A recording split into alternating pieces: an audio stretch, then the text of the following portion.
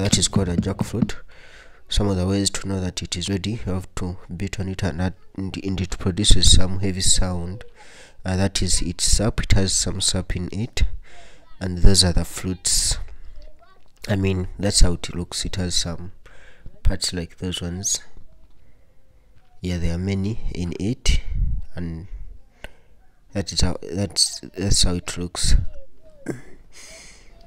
it is so delicious. Yeah, it has a good smell. And it has so much sweetness in it. It's hard to share with all the kids this one plant i mean this one fruit sorry. And most of the kids don't know how to eat it but okay on that day they learned how to eat it. It is common in uganda.